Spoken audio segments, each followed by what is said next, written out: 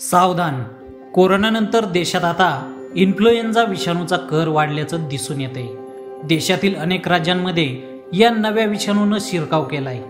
Influenza विषाणूच्या संसर्गामुळं हरियाणा आणि कर्नाटकात दोघांचा बळी गेलाय.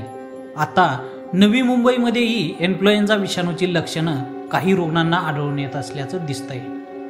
नवी मुंबईत राहणाऱ्या वैभव पाटीलला या आजाराची लक्षणं दिसून आली आहेत. वैभवनं स्वतःचं विलगीकरण केलं असून डॉक्टरांच्या सल्ल्यानुसार गोळ्या औषधं घेत आहे. मात्र अद्याप या रुग्णाला इन्फ्लुएन्झा विषाणूची लागण झाल्याचं स्पष्ट झालेलं नाहीये. चार चार पाच दिवस झाले. आधी डोकंदुखी होतं. त्यानंतर हळूहळू ताप वाढला आणि मग खोकला पण चालू झाला सोबतच. आणि गोळ्या घेतला की थोडाफार जातो पण परत ताप वगैरे तसं येतो. आणि खोकलाही आहे. डोकंदुखी होते. आधी सुरुवातीला पोटदुखी होती आणि मध्ये मध्ये उलट्या पण होतात. एकशे चार पर्यंत ताप गेलाय.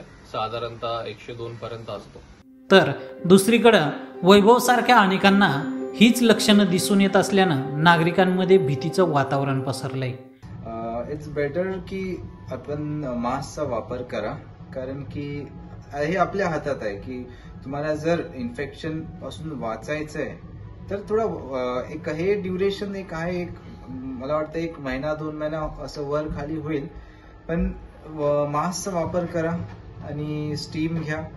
आपल्यासाठी बेटर आहे. आणि जर आपल्याला असं वाटत असेल की आपल्याला ताप सर्दी खोकला हे जर सिमटम येत असेल तर त्वरित आपल्या फॅमिली फिजिशियन जे आहे जवळ त्यांना व्हिजिट करा.